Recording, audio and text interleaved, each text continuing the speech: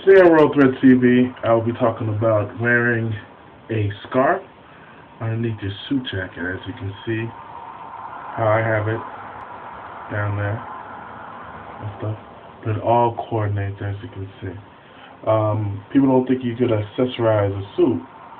Uh, they think you only could do the pocket square or a tie or a bow tie, maybe a little accessory across the tie, which is a tie bar.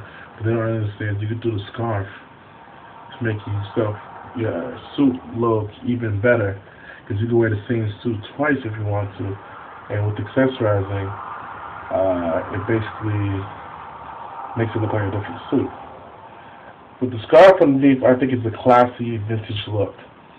A lot of people don't understand that you can do this look and still make it look good as you can see. This is what I'm wearing tonight. And for more suit etiquette Done for new, another episode of uh, Royal Thread TV, and I want to shout out to all my peoples. You know who you are. Keep on with the movement.